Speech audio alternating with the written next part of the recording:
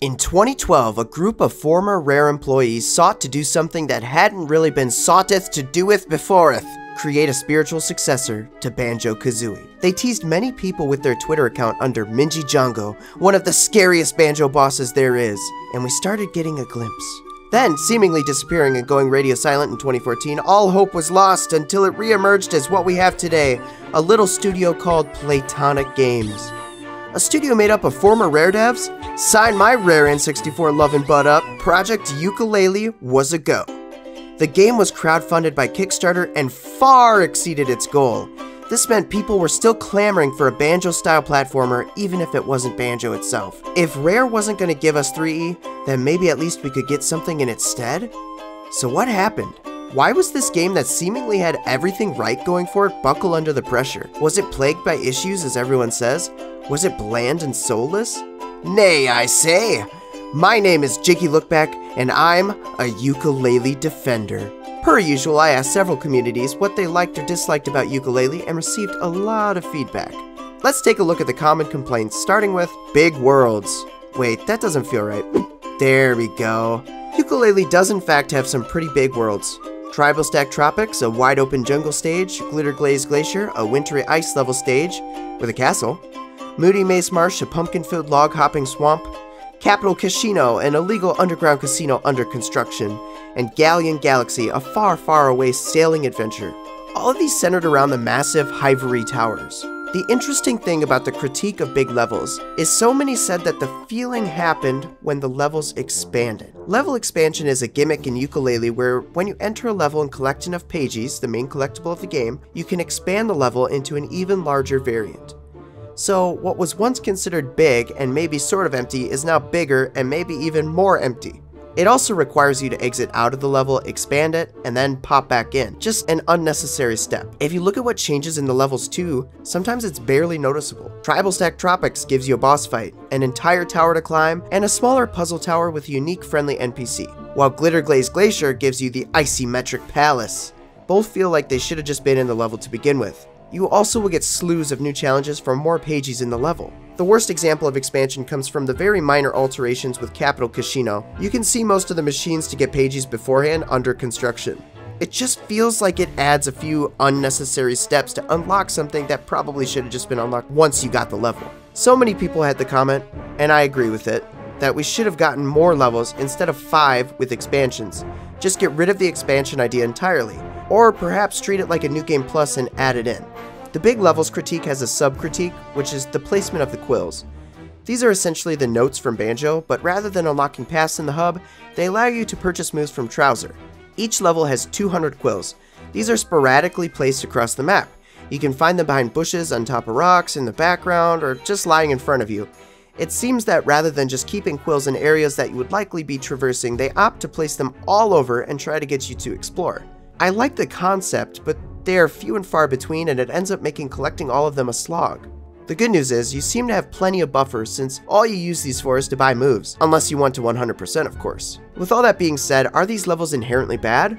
No, they aren't. Everyone seems to have a different opinion on what levels are good, which means there's nothing dramatically wrong with any of them, but it's a kind of pick your poison situation with what you like or dislike in platformers. You'll have moments of frustration and you'll have moments where you think, oh, that was fun. It's just those moments come and go so often. It doesn't help that the overarching hub world is nothing to sneeze at.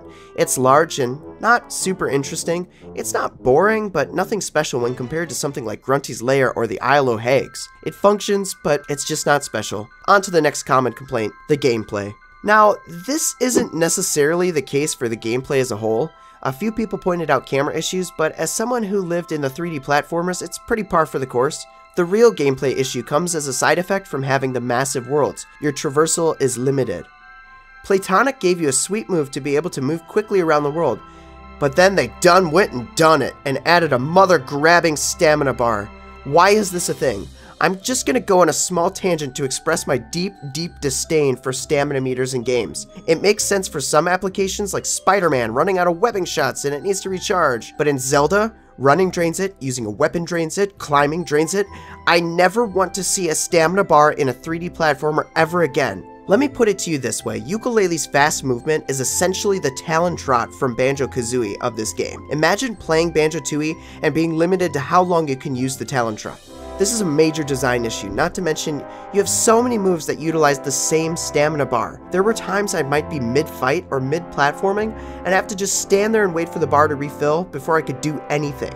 Anything that would make you slow down in a game like this is an oversight. However, generally the actual moveset and abilities you get for the pair work well enough and some are fun like turning invisible and spin dashing through a glass wall. I should also add you have some banjo-style transformations to change up the gameplay. They're unique and fun, but generally these move slower than Yooka-Laylee, kind of the same deal as before. Anything that slows down the gameplay should be revisited and adjusted. The third complaint, the plot.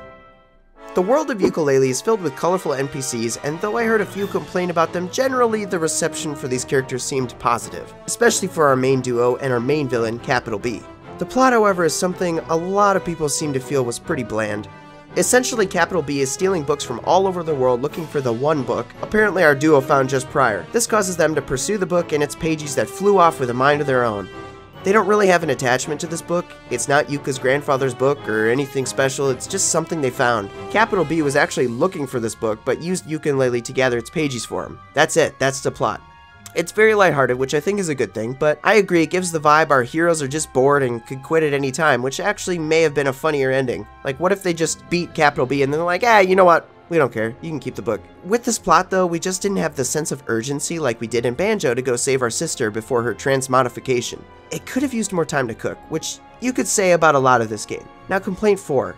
Level goals and minigames. I'm merging these two into the same category. The level goals to collect pages range from fighting bosses to simply finding a pagey on a platform or hidden spot. I think any fast collectible pagey is nice. Thankfully, there isn't much backtracking, at least outside of a level, aside from the hub itself. Though minigames like Rextro cause you to play his game, get a pagey, and then he says he'll give you another if you do it again. And these minigames are really nothing special. I really enjoyed the first one, where you played as Kartos. Other than that, I didn't really like them. I've really noticed a trend between all the rare style games. They like minigames to break up the action, but often they just aren't the greatest. Maybe they should try not adding them onto the next game, or they should really just lessen them. Not to mention the Dr. Quack quizzes, which are clearly a callback to Grunty's Furnace Fun or Tower of Tragedy. These are basic and happen too often. It should have just been once at the end, but there are three. They're small, but there are three. And Kartos, a friendly minecart, has a minigame in each world where you have to collect gems.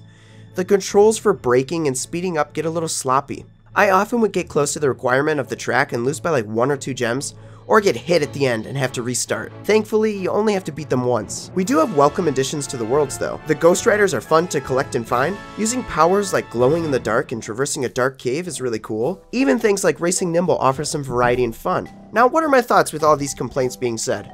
I played this game in launch day, and I remember liking it, but not loving it. We're playing this again, I gotta say, I had a lot of fun.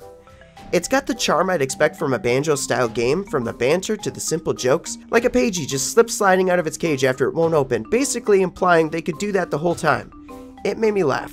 The characters and world building here was quirky and fun. though it would have been nice to see some more enemy variation rather than the same enemies with slightly different hats or colors. At times, I could get frustrated too with the previous stamina bar issue mentioned, but all in all, I found myself being sucked in and excited to play it after work every day for this video. The camera functions as well as Kazooie. To some it may feel archaic, but to me it feels right at home.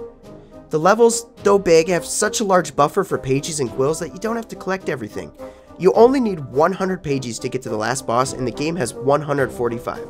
That's a pretty decent buffer. Having certain moves allowed me to be creative and maybe use the environment to navigate around an obstacle in a different way than intended. Some may see that as a design flaw, but I personally love that stuff. Being creative in the space and rules you're given is what I think often makes games like this fun. And while you're having fun running around, you are blessed to be listening to some bangers from Grant Kirkhope, David Wise, and Steve Burke. This creates a beautiful aesthetic and ambience to each world. I particularly love Tribalstack Tropics, it's so good. Not to mention the graphics are beautiful. They even have a love letter 64-bit tonic, which are basically cheat codes, to make the game look like an N64 game. Man, I love that addition. More games should do that. Is Yooka-Laylee a perfect game? No, of course not.